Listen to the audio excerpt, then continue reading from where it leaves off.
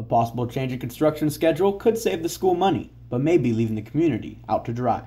Southwestern College proposed moving up construction for the Math and Science Center, which could save between three to five million dollars, but shut down pool access for a year or more.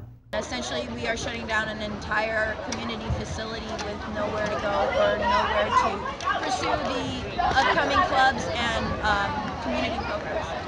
Laura Randall, a concerned parent, organized the poolside meeting with Southwestern College as well as Sweetwater District officials to discuss with community members the possible changes. I understand there's numbers. I'm an accountant. I get that, but um, you know, you can't put number. I mean, we're kind of homeless if we don't have a solution. So we're just asking for a solution before a decision is made. Eastlake and Bonita Vista High School swim and dive and water polo teams practice at the facility and would face major hurdles if it is shut down, even temporarily. But especially for seniors here, for players who have been playing all throughout high school and then to get their second season of community college colleges cut from them, and then not be able to play. Since they're attending classes here, they would have to be enrolled full time in another school to be able to play there. That'd be 24, 24 units. That's impossible. That's not possible to do.